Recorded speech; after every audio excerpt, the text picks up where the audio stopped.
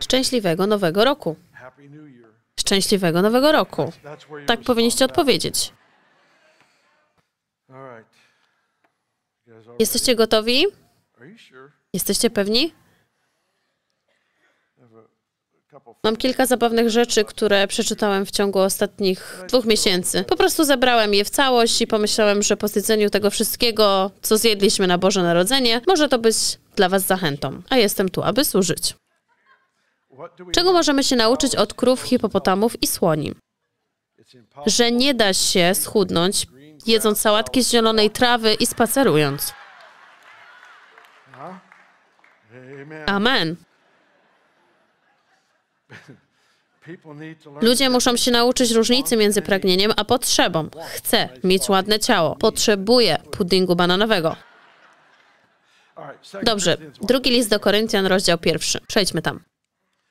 Jakiś miesiąc temu poświęciłem dwa niedzielne poranki na kazanie o niebezpieczeństwach, wyzwaniach, przed którymi stajemy jako wierzący tak samo jak inni ludzie. I pierwszą z nich była gorycz, uraza, a druga z nich to zazdrość.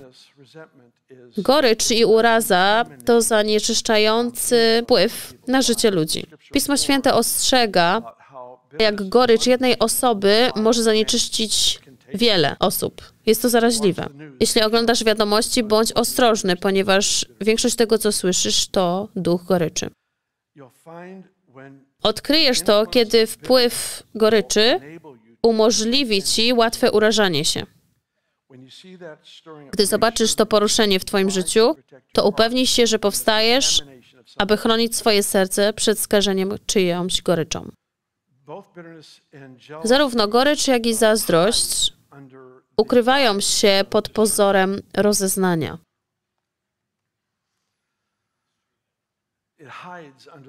One kryją się pod pojęciem, że możesz zajrzeć w serce, w motywy innej osoby.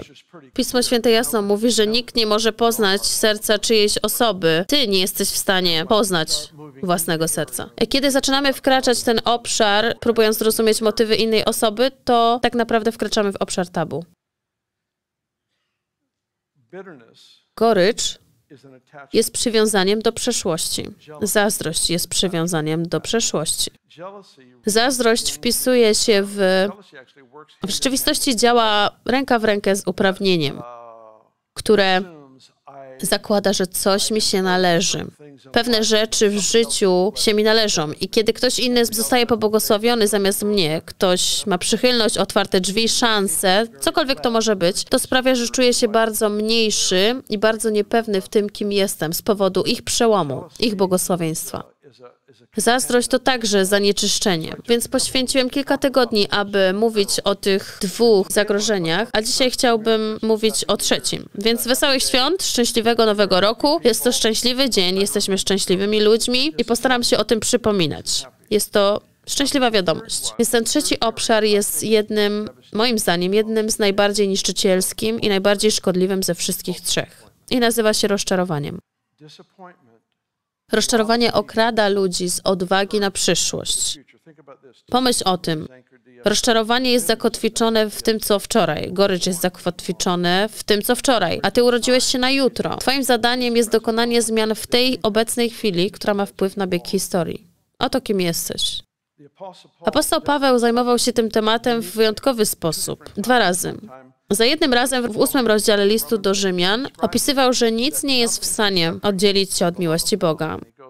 I przechodzi przez to, że anioły nie mogą tego zrobić, nikt nie może tego zrobić. A potem wspomina o rzeczach obecnych i przyszłych. Zauważcie, że nie wspominał o przyszłości, tylko o rzeczach teraźniejszych i o tych przyszłych. Dlaczego? Ponieważ wczorajszy dzień nie może odsunąć cię od miłości Boga, ale może wyłączyć twoją świadomość miłości Boga.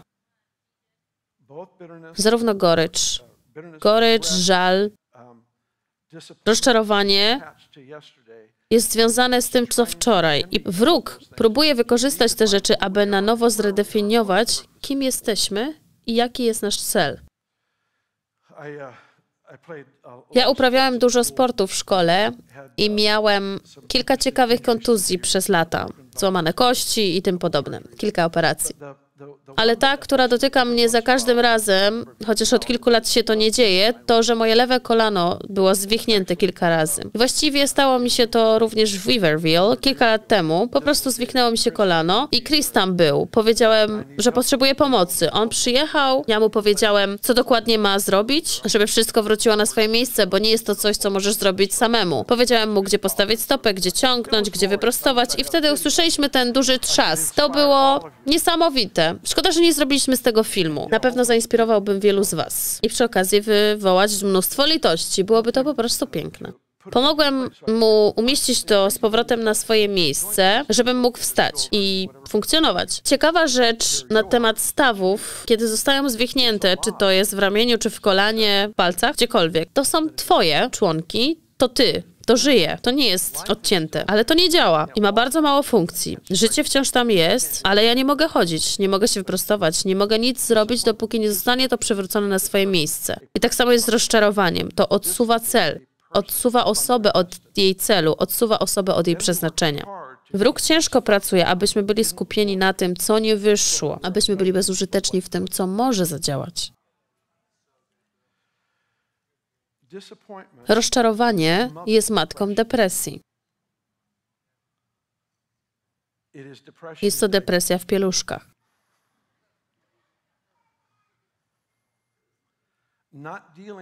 Nieradzenie sobie z nią we wczesnych stadiach głęboko wpływa na nasze zdrowie emocjonalne, psychiczne i duchowe.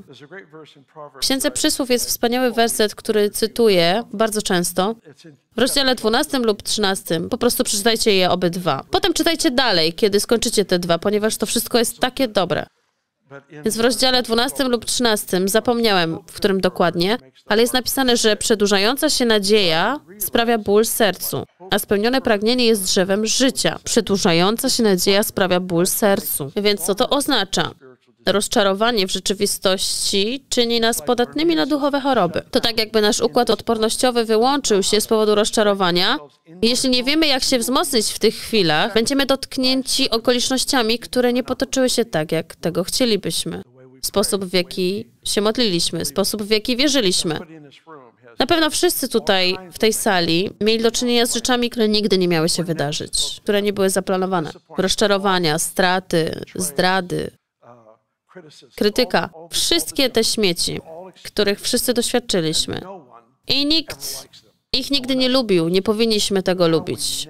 Ale to jak będziemy nawigować w tej niekorzystnej sytuacji, przy niekorzystnych wiatrach, jak ta żaglówka może faktycznie ustawić żagiel tak, aby płynąć pod wiatr, i korekcja postawy serca, biblijne nakazy, które czytamy, nad którym rozmyślamy, którymi się modlimy, faktycznie sprawiają, że dokonujemy osobistego postępu w najbardziej niesprzyjających momentach chciałbym zasugerować Wam, że to, po co się urodziłeś, jest po drugiej stronie niesprzyjających wiatrów. To, do czego zostałeś zaprojektowany, oznacza dostosowanie serca do zaufania Bogu. Uczenie ufania Mu, gdy dzieją się rzeczy, których nie możesz kontrolować, których nie możesz wyjaśnić. I to zaufanie Ci pomoże. Nawet jeśli masz wrażenie, że się cofasz, to w rzeczywistości powoduje, że my zwiększamy naprzód, kiedy dzieją się te trudne czasy. I to jest nasza siła. Rozczarowanie jest złodziejem. Jest złodziejem, ponieważ okrada nas z poczucia wizji i celu. Tak naprawdę rozczarowanie jest tym,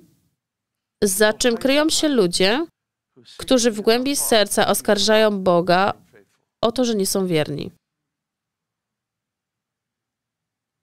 Wielu nigdy nie chciałoby tak pomyśleć świadomie, ale to właściwie chroni w ten niewłaściwy sposób chroni nas przed pójściem do Boga, kiedy sprawy nie toczą się tak, jak powinny. Nie sądzę, że jest to możliwe, abyśmy dotarli tam, do czego powołał nas Bóg, jako jednostki rodzinne, jako rodzina kościelna. Nie sądzę, aby było to możliwe, aby dotrzeć tam, do czego Bóg nas powołał, bez nauczenia się, jak poruszać się przez ten problem, kiedy powstaje rozczarowanie. Bóg jest Bogiem obietnicy. Jest ich ponad 7700 w Biblii. 7700. Wiem to tylko dlatego, że mam przyjaciela, który nauczył się ich wszystkich na pamięć w wielu tłumaczeniach, tylko dlatego, że mógł. Był niesamowitym człowiekiem, jest teraz w niebie. Ale zapamiętał wszystkie te obietnice i On po prostu mówił o tych wszystkich rzeczach, żeby zachęcać ludzi. To była po prostu najfajniejsza osoba, z którą można było przebywać, ponieważ był jednym wielkim źródłem zachęty. I robił to za pomocą Słowa Bożego. Po prostu zachęcał, mówił o to, co Bóg mówi na ten temat. I pomyślmy o tym. Kiedy Adam i Ewa zgrzeszyli, pierwszą rzeczą, która wydarzyła się po ich grzechu, to to, że Bóg dał im obietnicę. W Księdze Rodzaju, w trzecim rozdziale, on daje obietnicę odkupiciela. Właściwie miał tę obietnicę przygotowaną, zanim pojawił się problem. Ponieważ Bóg jest tym, który ma rozwiązania, zanim my narobimy bałaganu. Wszystko zostało przemyślane z wyprzedzeniem i przygotował grunt, abyśmy mogli otrzymać przebaczenie grzechów i uzdrowienie w naszym poczuciu tożsamości i celu. Więc tutaj mamy ten werset z Księgi Przysłów, gdzie jest napisane, że przedłużająca się nadzieja sprawia ból sercu, a spełnione pragnienie jest drzewem życia. Więc to jest ta odwrotność, druga strona medalu. Przedłużająca się nadzieja sprawia ból sercu. Natomiast spełnione pragnienia, czyli zrealizowane marzenia, spełnione marzenia, odpowiedzi na modlitwy, cała ta dziedzina życia, spełnione pragnienie jest drzewem życia. Drzewo życia jest wspomniane w trzech księgach w Biblii. W Księdze Rodzaju, w Księdze Przysłów i w Księdze Objawienia. Przynajmniej według mojego sposobu myślenia, w Księdze Rodzaju mówi o tym, co było, w Księdze Przysłów o tym, co jest, a w Księdze Objawienia o tym, co ma nadejść. Więc chodzi o to, że drzewo życia, jeśli po prostu zawrócimy do ogrodu Eden, do Adama i Ewy, kiedy oni mają drzewo poznania dobra i zła, z którego nie mogą zjeść. Z całej reszty mogą, ale zjadają z tego. I kiedy już to robią, popełniają grzech i zjedli zakazany owoc, anioł idzie, aby ich strzec przed zjedzeniem z drzewa życia. Myśl za tym jest taka, że jeśli teraz stanę się grzesznikiem, złamię przymierze z Bogiem i zjem z drzewa życia, to nie rozwiąże to mojego problemu, ale zamiast tego uczyni mnie wiecznym grzesznikiem bez nadziei na odkupienie. Innymi słowy, zamyka mnie z góry w określonym wiecznym celu. Więc pomyślcie teraz ze mną. Jeśli spełnione pragnienie jest drzewem życia, to co mówi? To mówi, że część Twojego wiecznego celu objawia się w spełnionych marzeniach, w spełnionych pragnieniach. Bóg daje nam obietnicę nie po to, żeby nas kusić. On nie może kłamać. On nie kusi nas, nie robi fałszywych nadziei, a potem powoduje, że się rozbijamy i spalamy. Jest kochającym ojcem i ten ojciec przedstawia nam obietnice, które zainspirują i zaszczepią w nas zdolność do marzeń. Wielu wierzących z powodu rozczarowania stracili zdolność do marzeń. Wielu wierzących z powodu rozczarowania stracili zdolność do marzeń. Właśnie niedawno to usłyszałem.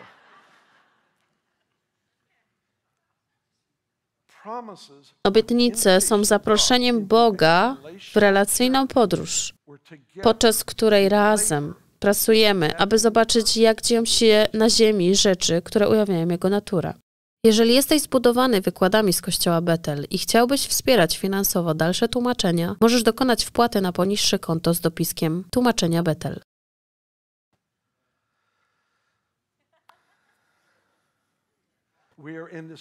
Jesteśmy w tej relacyjnej podróży, podczas której we współpracy widzimy, jak Jego cele manifestują się na ziemi.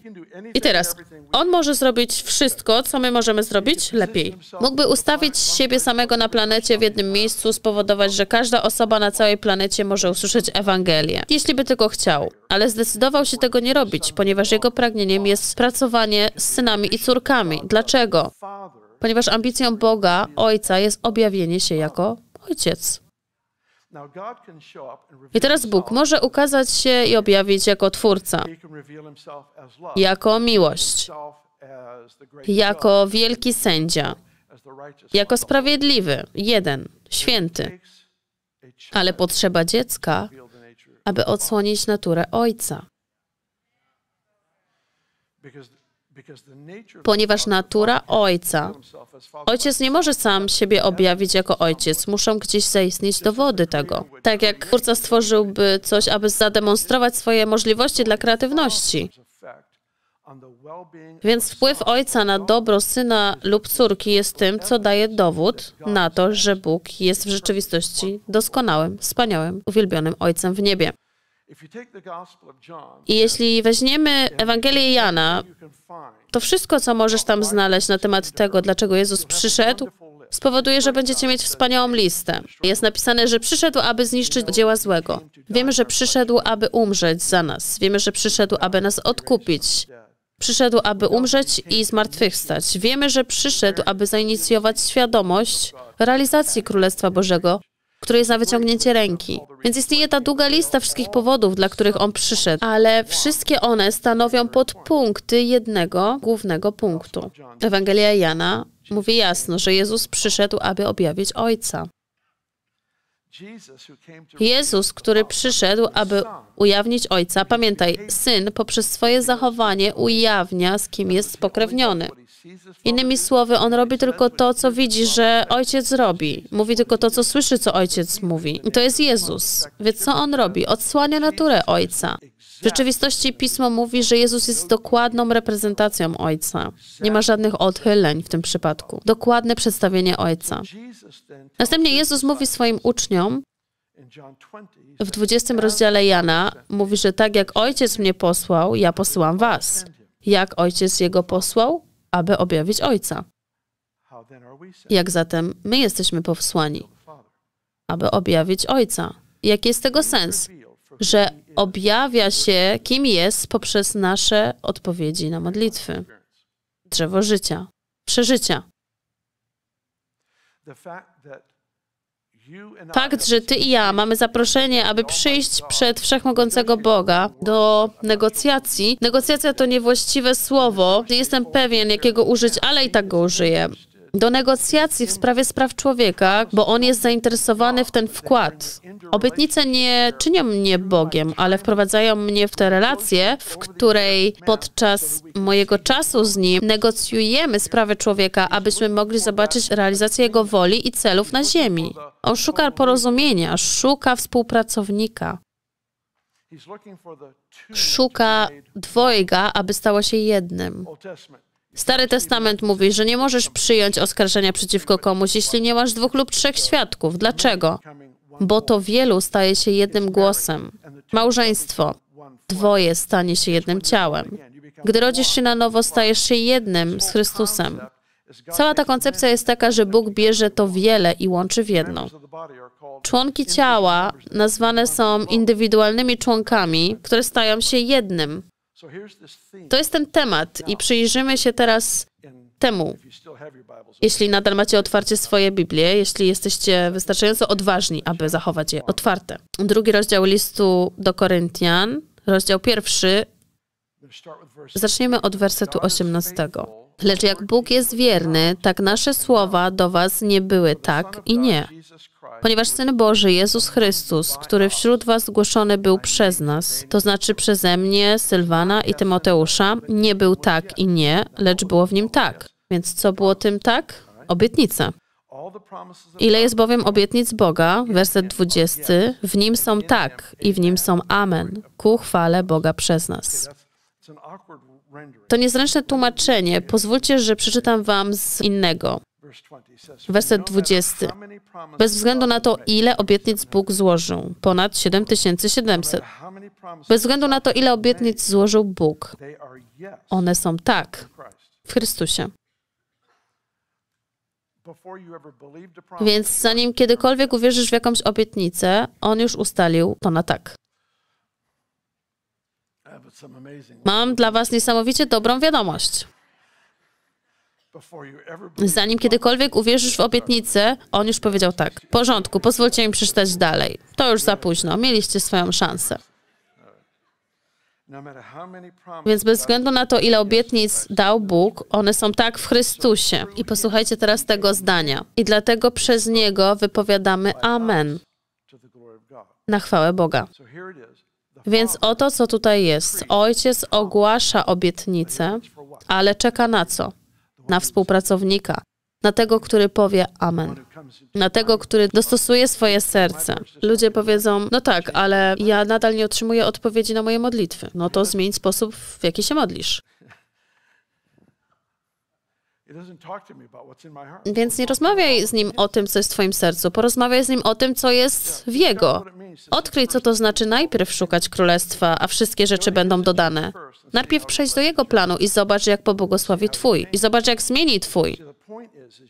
Widzisz, chodzi o to, że ja i Ty jesteśmy zadłużeni w tym poczuciu objawienia Ojca. Jak? Właśnie poprzez odpowiedzi na modlitwy. To są te przełomy. To fakt, że doznajesz straty i jest to dla ciebie na tyle ważne, że zostajesz sam na sam z Bogiem i krzyczysz o przełom, żeby ta strata się nie powtórzyła. Masz to rozczarowanie, masz tę osobę, która cierpi na straszną chorobę. Ty się modlisz, ona nie zostaje uzdrowiona, umiera. I co robisz? Nie zbywasz tego tak po prostu, zostajesz sam na sam z Bogiem. Dlaczego? Ponieważ On dał ci te obietnice i mnie o tym, że zademonstruje swoje życie, swoją miłość, swoją moc poprzez swoje własne dzieci. Więc stajesz sam na sam z Bogiem, aż dokonujecie przełomu. Nie jest to skomplikowane, ale stanowi to wyzwanie. Nie jest to skomplikowane. Jak osiągnąć przełom? Podejmij ryzyko. Co zrobisz, jeśli nie osiągniesz przełomu? Stajesz sam na sam z Bogiem. I co potem zrobisz? Podejmujesz jeszcze więcej ryzyka. Więc wchodzisz w tę obecność, wołasz do Boga, wchodzisz tam, gdzie jest krzywda ludzi i służysz. I powtarzasz to w tom i z powrotem, dopóki ty i ja nie nauczymy się, jak wykonać dobrze to, do czego Bóg nas powołał. Ty i ja możemy prześmierdnąć tym zadaniem, ale to nie daje nam prawa do zmiany tego zadania.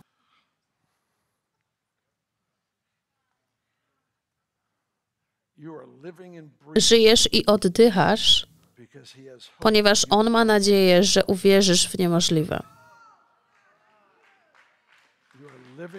Żyjesz i oddychasz, ponieważ kiedy życiowe niemożliwości ustępują synowi lub córce, objawia się Ojciec i On zostaje uwielbiony. On zostaje wywyższony.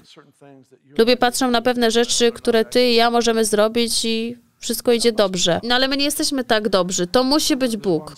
W jednym z psalmie jest napisane, że z pewnością narody powiedzą, że Bóg jest wśród nich. Innymi słowy, oni nie są aż tak bystrzy. Bóg musi tam być, ponieważ spójrz, co się dzieje przez nich. I to jest właśnie to, czego ty chcesz. Chcesz okazać naturę, dobroć, serce Boga w taki sposób, że ludzie wokół ciebie są pod wpływem tego, kim On jest. Obietnice zapraszają nas do marzeń. i chciałbym zasugerować, że ci, którzy stracili zdolność do marzeń, stracili z oczu obietnicę Boga. Nasza zdolność do marzeń jest karmiona, napędzana przez nasze połączenie z obietnicami, które dał nam Bóg, a których jeszcze nie widzieliśmy, że się wypełniły. Tak, absolutna prawda.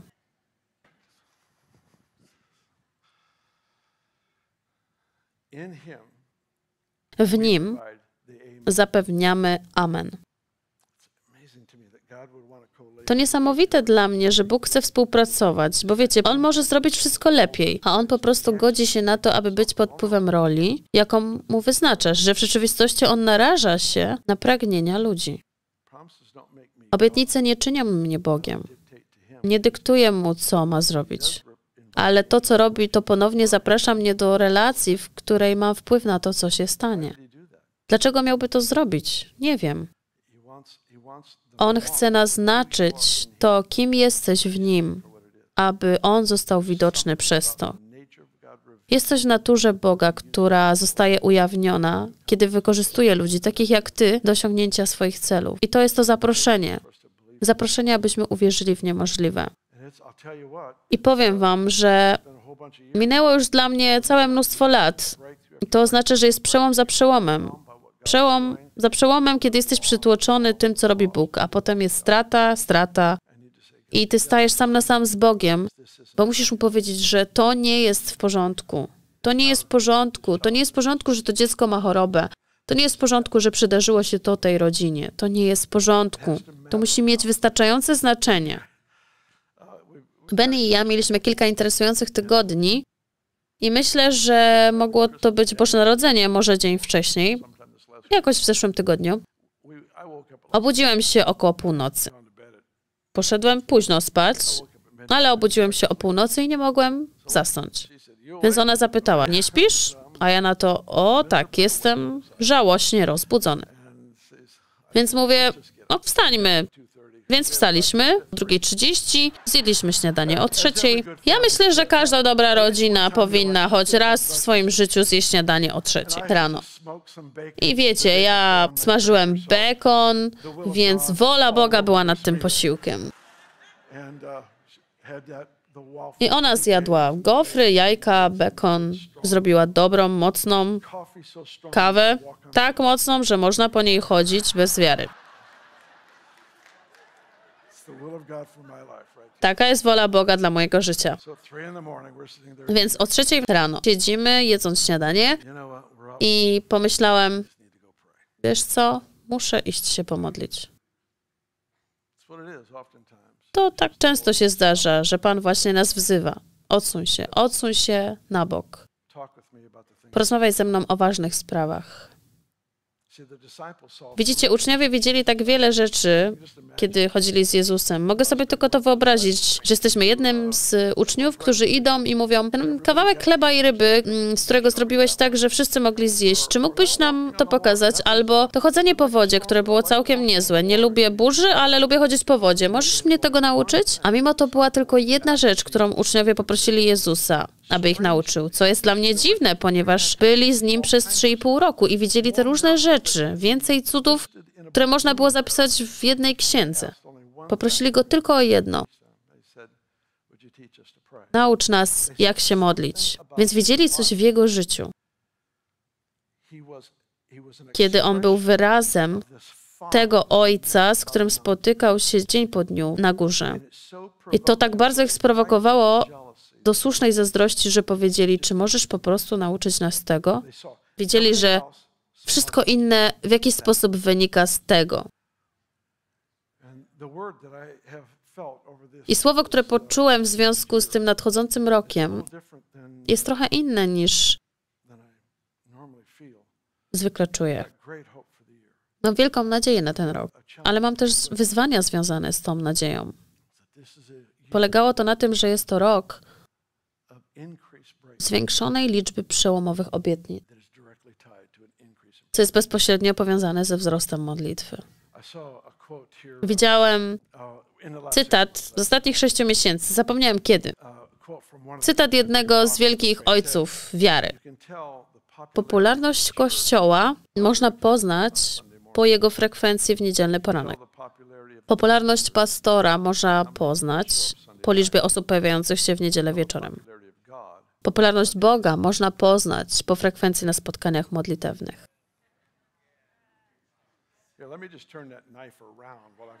Więc pozwólcie, że odwrócę ten nóż, póki go mam. Jest tutaj to zaproszenie od Boga wszechświata, aby przyjść i spotkać się z Nim. I podczas tego spotkania zostać przemienionym i stać się tym, który przemieni.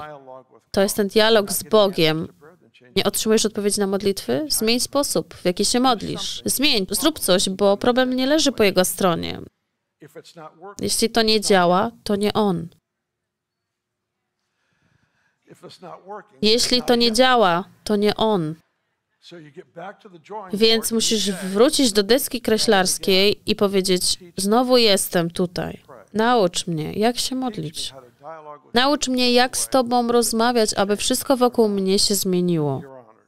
A Ty poczujesz się zaszczycony i uwielbiony. Zrób coś we mnie i przeze mnie, aby podczas tej rozmowy nastąpiła przemiana. I Bóg zaprosił nas do tej współpracy, na którą nigdy nie moglibyśmy zapracować, aby mieć wpływ na bieg historii. I dlatego wciąż oddychasz powietrzem, będąc częścią tej rodziny, częścią tego zespołu. Kiedy kładłem spać moje dzieci w nocy, było kilka rzeczy, które powtarzałem im w kółko. Jedną z nich było to, że kiedy dziś wieczorem kładziesz się spać, pamiętaj tylko, że jesteś częścią zespołu, który jest tutaj, aby zmienić świat. A drugą, którą często powtarzałem, było to, że kiedy kładziesz się spać dziś wieczorem, zapytaj Boga, czy jest coś niemożliwego, czego On od ciebie chce. Więc mówię to dzisiaj do Was, zanim pójdziecie spać, bo niektórzy już to zrobili.